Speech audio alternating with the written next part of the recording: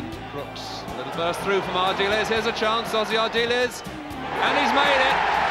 Well, Brighton have paid the penalty. The writing was on the wall a few moments ago. They didn't clear the danger.